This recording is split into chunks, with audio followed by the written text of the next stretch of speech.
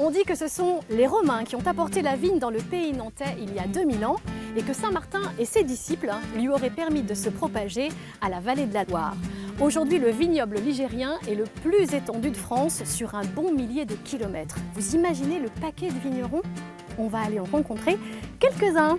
C'est bon le raisin Flâner en bonne compagnie avec Vue sur Loire ce dimanche à 12h55 sur France 3.